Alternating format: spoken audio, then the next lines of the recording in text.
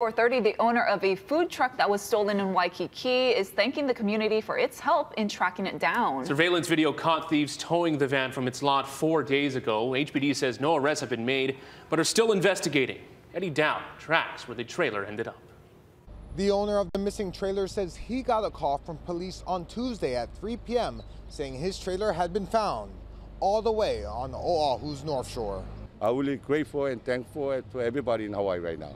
The stressful ordeal started last Friday. This security camera footage, time-stamped at 4:30 a.m., capturing a Home Depot rental van hauling away a massive trailer valued at $150,000 from its Waikiki lot. H&N spoke with owner Mike Ha on Saturday. He had been renovating the trailer, hoping to start a new Korean food business. Still now, it's the 24th and we can't even find this. I don't know what to say. Police told Ha that the van used in the crime had GPS in it and that the woman who rented it from Home Depot returned it on Saturday, a day after the trailer was stolen.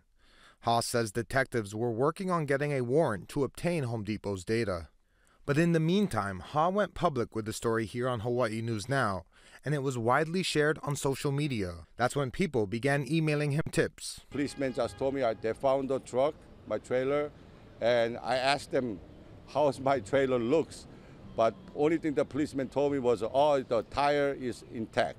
The stolen trailer had been taken from its lot in Waikiki all the way to Laie, where it was abandoned on somebody's property. Ha says police told him the person who lives there was approached by people asking to hold the trailer for a few days in exchange for a couple hundred dollars. That person apparently didn't know it was stolen until they saw H&N's story and called police. I was shocked that they were dumb enough to try and steal uh, a large uh, item of this size. The trailer is now back at its lot in Waikiki.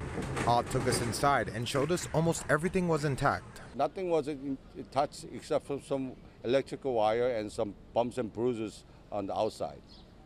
Are you surprised? I'm very, very surprised. Uh, I, I thought it would be stripped down. Ha says he's not taking any more chances. This lock now going on the hitch of his trailer.